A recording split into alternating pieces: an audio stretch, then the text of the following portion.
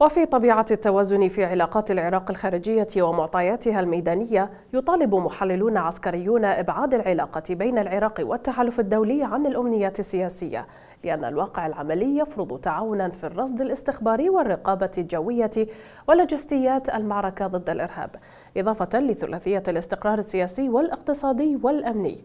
ويشير المحللون إلى عدم وجود أرضية تفاهم مشتركة بين جميع القوى الفاعلة لإنهاء تواجد قوات التحالف الدولي خاصة وأن بغداد ملتزمة مع واشنطن باتفاقية الإطار الاستراتيجي وشروطها الكثيرة موضحين أن ردود الأفعال السياسية لا علاقة لها بمتطلبات الواقع العملي للمعركة على الأرض.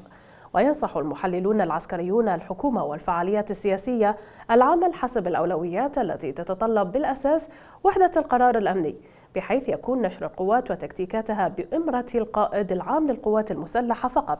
وبعكسه سيبقى الاجتهاد السياسي معرقلا لأساسيات الاستقرار في العراق.